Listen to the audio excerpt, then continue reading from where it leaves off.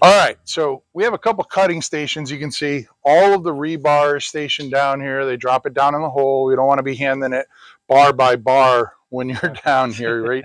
You want to make sure you have everything down here.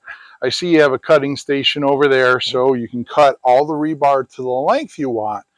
But this is a pretty nifty little tool here. And, you know, you, you've said something earlier to me that I've heard pretty much for the last 30 years, work smarter, not harder. That's right. Right. So this is a, you know, typical, uh, or not to say atypical, bending machine. So a lot of times you get the rebar and it might come pre-bent from a factory. You go through the shop drawings and they just send you, you know, 300 pieces of bent rebar. But if you want to do it out on the site and kind of manufacture or fabricate it yourself, then you need some kind of tool, right? So he's going to let me. This is my first time bending it, so bear with me. I'm told I just pull the trigger here. That's right, nice and slow.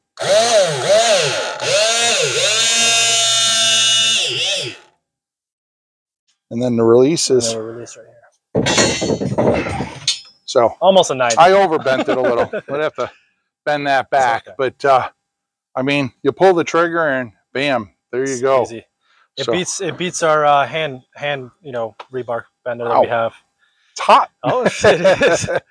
All right. crazy. So, so there you have it, folks. We're down here in the hole. Dan, thanks for uh, you know giving us all your quick tips and sharing your uh, vast experience of putting these together. Um, we'll we'll come back at you more as this you know project uh, progresses, and we'll talk about you know when the bracing is up and try and get out here when they're uh, casting the walls and all of that. But thanks for uh, the tips and the uh, initial layout from the Build Show.